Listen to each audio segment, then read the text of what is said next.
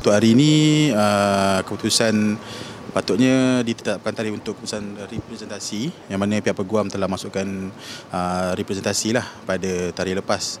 Uh, tetapi malangnya pada hari ini pihak pendakwaan mengatakan bahawa mereka perlu untuk mengambil statement daripada pegawai perubatan yang mengeluarkan laporan perubatan dan mungkin selepas itu uh, akan adalah satu keputusan representasi daripada uh, perkara tersebut. Uh, bila dapat laporan perubatan tu?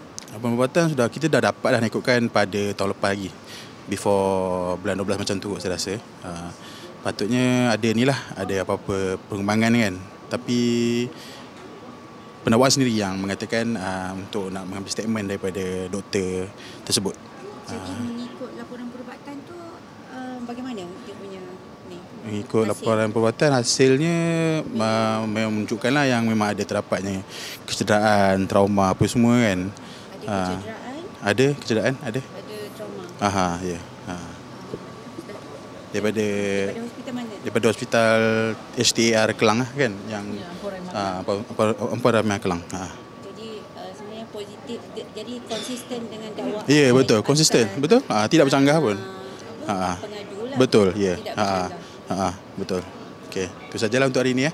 So tarikh seterusnya adalah pada 13 April. 13 April ya. Okey.